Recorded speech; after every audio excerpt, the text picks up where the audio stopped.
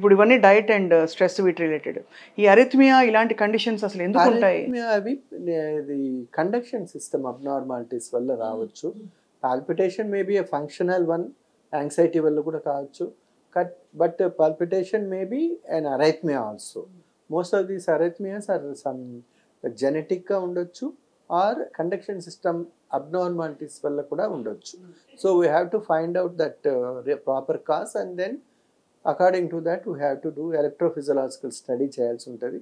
దాన్ని బట్టి ablations RF ablations లేదా డ్రగ్ థెరపీ ప్రిస్క్రైబ్ చేయాల్సి సో అది రెండు మూడు రోజులు ఆ హార్ట్ మానిటర్ పెట్టుకుని holter Holter- Holter monitor. ECG twenty four hours there are nowadays three four days recording కూడా అవైలబిలిటీ ఉంది.